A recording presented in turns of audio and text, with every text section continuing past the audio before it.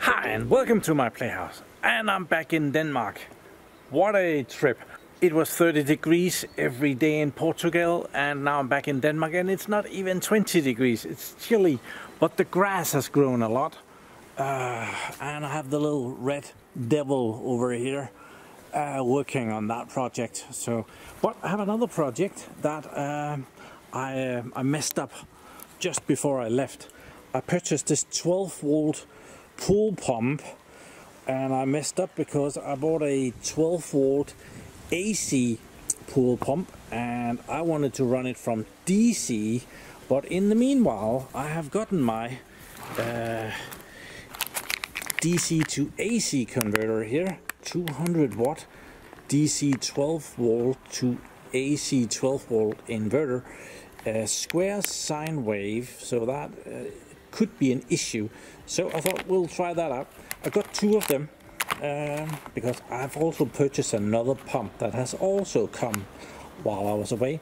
And then to get free shipping I, I bought some of these uh, cigarette lighter adapter thingies because I'm always running out of those. So yeah I, I got some of those. Um, I do have another one though that I had found for this project so um, I'm going to be using this one for this project but now I have for other projects. Sorry about the wind if it's windy.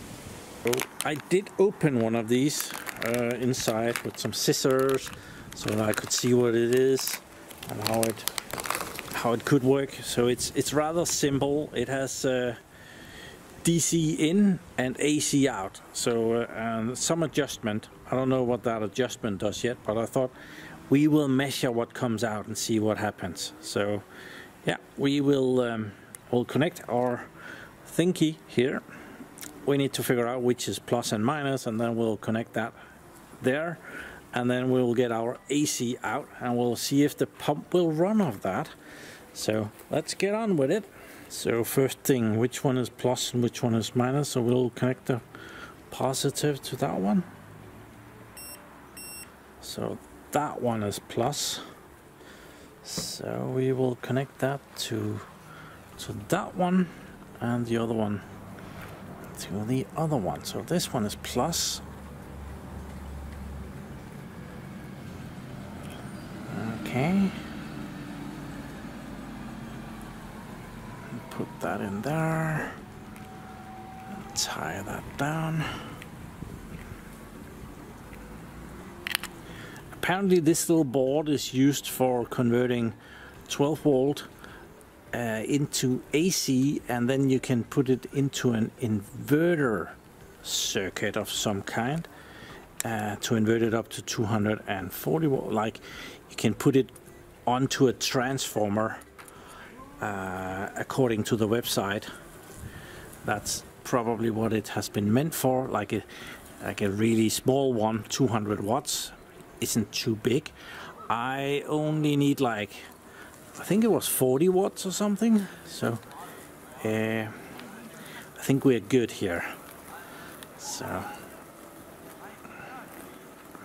so now I have connected this and then we need to connect it to some power and then we can see what comes out of it awesome so here we have a power station so we can turn on uh,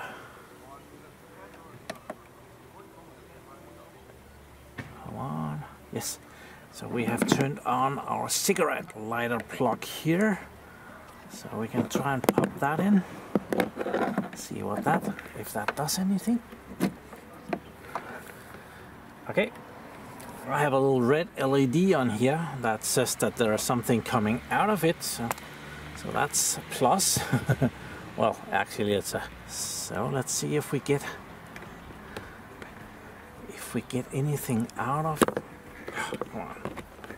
If we get AC out of this, it should only be 12 volts, so it should be pretty safe. Yes, I get 14.77 volt AC out of this.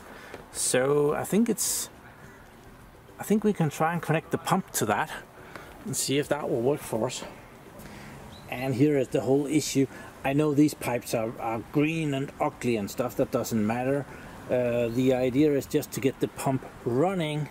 It's not to make it uh, cool and everything. And here is the issue. This is the transformer for the pump. And it's an uh, 230 volt to 240 volt. So it, uh, it goes into the wall socket right there. And then it transforms that to 12 volt. And that little sign, which means AC and up to 5 amps and 12 volt 5 amps is about 60 watts. So uh, yeah 200 watts should be plenty. And um, yeah I was um, I was planning to do this and then I messed up because I hadn't seen that that tiny little sign that this was an AC adapter 12 volt AC I thought it was DC so I already cut the cable so I'm gonna un undo my little fix here so that we can test the pump with this setup. I'll fix this. So I knew I was gonna go come back to this. I didn't know how long it would take. So uh, yeah, let's see if we can, can get this pump up and running. The idea is to run the pump off of solar and battery so that I don't have to, uh, uh, well, I have already run the pump of solar and battery, but I have run it at 230 volts and you get a lot of losses doing that because there's a lot of losses converting battery voltage into AC current. So I'm hoping that this conversion is less and therefore I will be using less power and most definitely uh, that little circuit board which is like very cheap is probably more efficient than the big setup. I did this really well. This is drag. So I just put it back together with some of these. So very easy to uh, to redo that. And now this is uh, is AC, so it doesn't matter which one is which, which is a good thing to remember. So let's let's untighten these. These oh, I didn't have to tighten them that much. Oh. I have disconnected it while I'm messing with it. There we are. Oops. So I have no idea if that pump is gonna be able to run off of square wave. It's used to pure sine wave and this is probably very low quality uh, AC compared to what it's really meant for. So there is a good chance that it will not work as well as intended. But well there's a chance that it doesn't give a flying beep.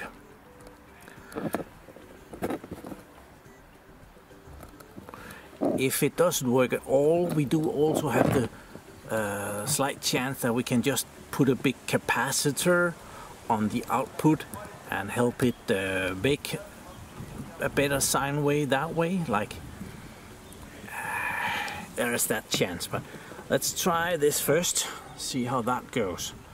So now we can put it so this is the easiest oh really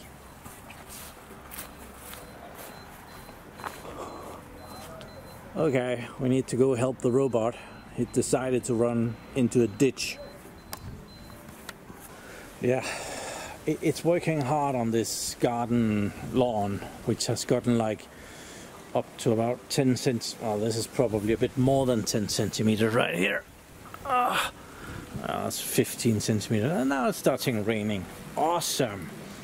I moved the power station out of the worst rain, so we're gonna try and connect it. We might I'm probably cutting this video a bit short so let's pop this in. There. Turn on DC and the pump runs just fine. Awesome. Fix is completed. No issues. Sounds perfectly normal. There's no water in it so it's complaining a little bit about that. So um, yeah so from me and little devil. I think we're gonna end it here. I think he is driving around on an on a pear. That's gonna mess him up. Yeah, and it's coming down hard right now. So I'm gonna end the video here. We had a little bit of a success.